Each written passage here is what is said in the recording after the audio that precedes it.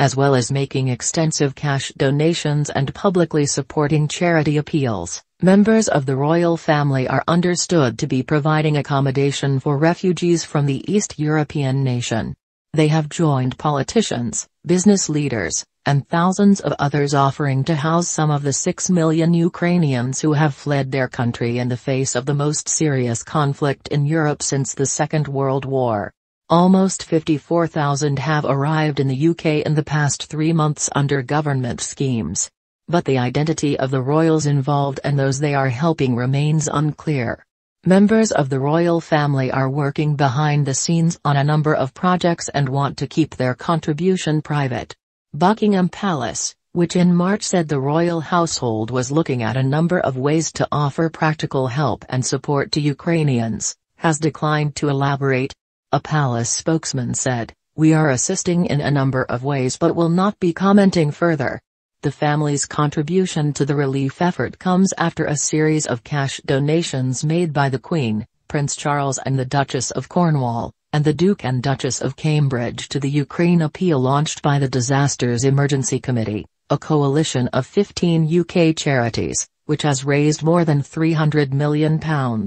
The Queen has made her support for Ukraine plain in other more subtle ways too wearing Ukrainian yellow and blue and ordering flower arrangements in the nation's colors at Windsor Castle.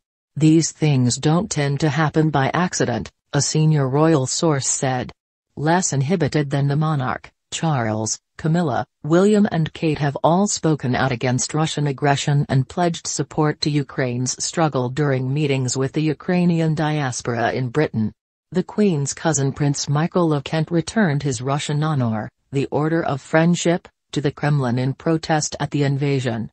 Earlier this week on a tour of Canada, Charles and Camilla met Ukrainian refugees in Ottawa, where Camilla told one family who had left the father behind to fight, We are so behind you. We do worry about you so much.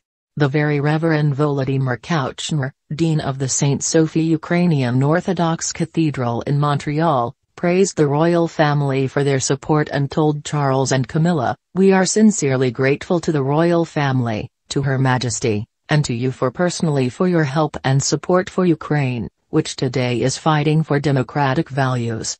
In March on a visit to the Ukrainian Cultural Center in London, Prince William said, For our generation, it's very alien to see this in Europe. We're all right behind you. We're thinking about you. We feel so useless. He praised the people of Ukraine for their spirit, and told volunteers sending aid, We have seen a lot of that Ukrainian spirit already. Keep together. Everyone is there for you. We feel for you, we really do. William and Kate have also offered to use their Royal Foundation to provide support for Ukrainians suffering mental health problems after witnessing the horrors of war. They said in a statement. In October 2020 we had the privilege to meet President Zelensky and the First Lady to learn of their hope and optimism for Ukraine's future. We stand with the President and all of Ukraine's people as they bravely fight for that future. More than 150,000 Britons have offered shelter in their properties to Ukrainian refugees under the government's HO.